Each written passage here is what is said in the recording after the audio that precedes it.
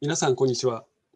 両への斉藤と申します。よろしくお願いいたします。本日は、弊社の排水処理センシングサービスをご紹介させていただきます。はじめに、簡単に排水処理をご説明したいと思います。食品、電子部品、化粧品等、あらゆる工場は、加工、洗浄のために必ず水処理がございます。工場を大きく分けると、製造工程と排水工程に分かれ、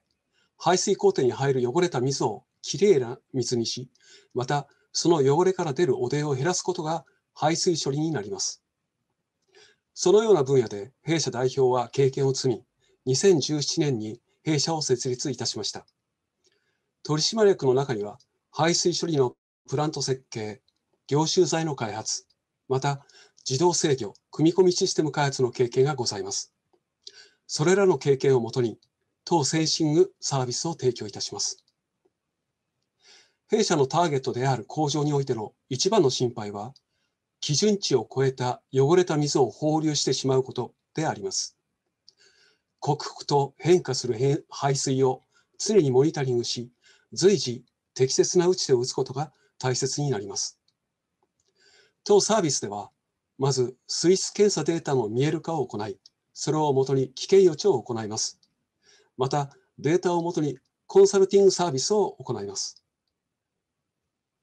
センシングシステムは減水と放流部分をセンシングし、さらにいくつかの工程にセンサーを入れ、それらのデータをクラウドにアップします。予測管理のためのデータベースにデータを保存し、また顧客側と弊社側で状況をモニタリングできるようにいたします。それによって弊社ではそれぞれの数値の変化を分析して顧客サポートを行います。当サービスによって適切な業種材、危険予知やアドバイス、将来的には汚泥と廃の燃料化まで行うことによって、